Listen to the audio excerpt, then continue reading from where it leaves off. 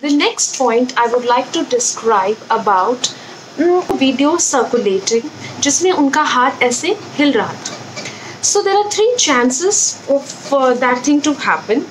First chance that he's alive. Second, post cadaveric spasm.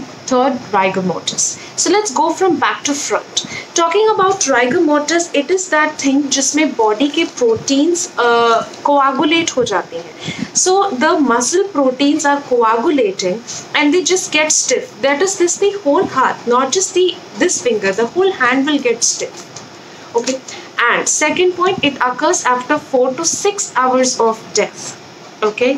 So uh, if we see that his ligature mark which was here even that was reddish brown. I have seen cases and the ligature mark doesn't turn red immediately. It turns red after about 5 to 6 hours. Initially it's just a mark uh, maybe yellowish or that sort but later on it turns that dark Secondly, if it is mortis, the point that supports is that it is 4 to 6 hours. In India especially, it takes, with the temperature, this climate we have, the tro way tropical climate, it's around 6 hours for rigor mortis to develop.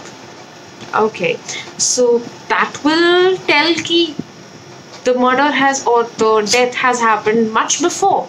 Okay, so fine. The second chance is that it's a post-cadaveric spasm. For post-cadaveric spasm, first thing is that it does not occur in front of your eyes. It keeps जिस posture में मरे उसी posture में रह जाता है हाथ ठीक है so it is and second point it is anti gravity that is if he was hanging okay if he was hanging his head would be towards the ground ठीक है? ऐसे हैंग करते हैं सीधा। So it would be towards the ground it would not undergo cadaver expulsion second so that means his hand was against gravity ऊपर को उठ रहा था। That means he was trying to save himself तभी ऊपर पुल करने के लिए।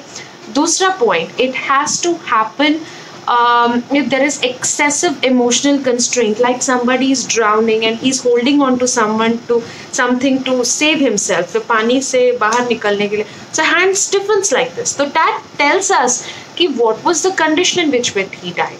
That is the position in which the life changed to death. So that doesn't have as a movement. It it's visible on the time of visit when we see the patient for the first time that it is in that position so it was not the case in this condition because it was moving. It was not in the position.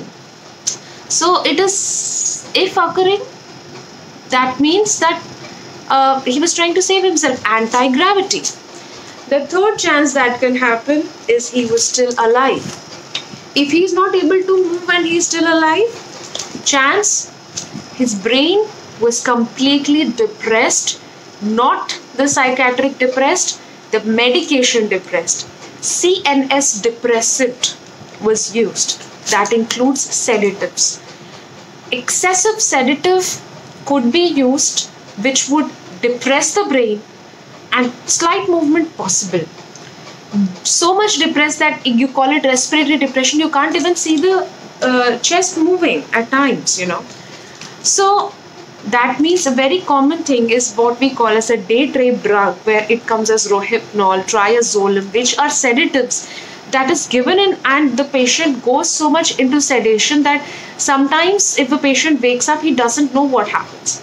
It's a safe drug that if the patient survives also uh, he would not be able to remember what happened. Uh, though it requires a doctor's help to acquire such medicines.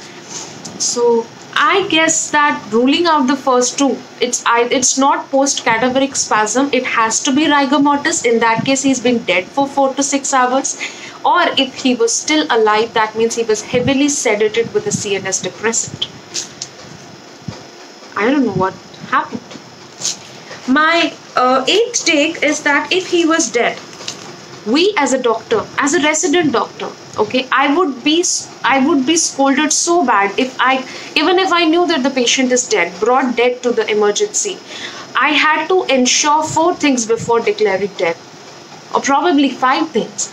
But four things personally upon checking the patient pupils which has to be dilated and fixed. Uh, respiration there is no respiratory movement. Stethoscope say heart rate there is no heart sound uh, fourth is that uh, we give out an ecg Okay, we take an ECG where the patient's uh, ECG is flatlined. Okay, and sometimes a fifth condition where you uh, where you check a pulse of that patient. Uh, just may you know. So if there is no ECG, uh, pulse is the utmost importance where you check the pulse here. Even mild presence ensures that you have to do CPR, you can revive the patient Being a young, there are chances, you know. So these five things are necessary to ensure. And if that was not ensured, how could they uh, wrap the body up in a bed sheet as if he's a dead body? he has to be rushed to a hospital before declared dead or a doctor called upon before declared dead and only then the body wrapped up only then the crime or suspected situation of death to be touched otherwise it's not even allowed legally to touch a body if especially at such under such circumstances you know so that's my um, um you know seventh uh, eighth point so, nine point is nothing specific. It's what the public already knows. Ambulance mein le jaya gaya. I don't know, already tied as if dead. Okay, you are not to call a person dead unless and until proven and not checked. Okay, so he could have been revived if he was alive. Could not have been also, but could have been.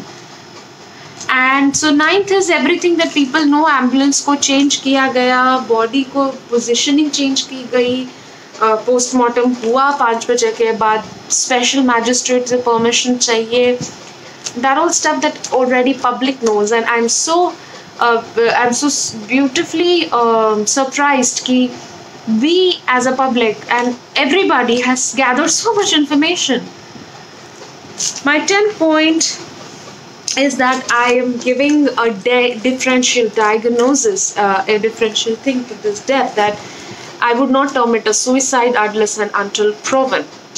The only thing that supports is if he has a proper psychiatric history.